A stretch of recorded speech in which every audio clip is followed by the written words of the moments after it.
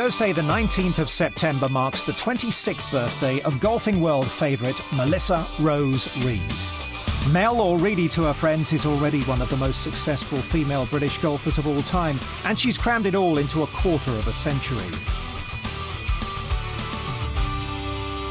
She could have turned her talents to a number of sports, but fortunately for us, she chose golf.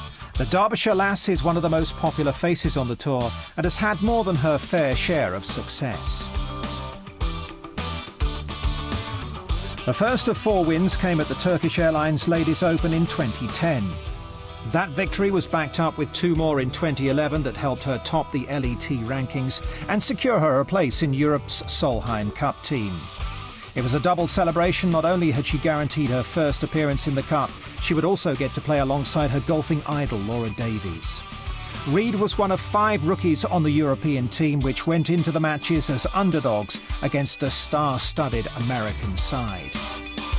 But a final day deficit was overturned in dramatic fashion as Team Europe won the Cup for the first time in eight years, with Mel leading the celebrations.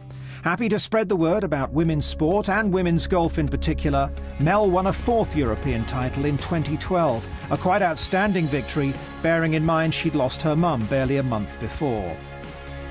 Her experiences on and off the course have helped put the game into perspective. She reduced her playing schedule for 2013 and has spent time working on her game.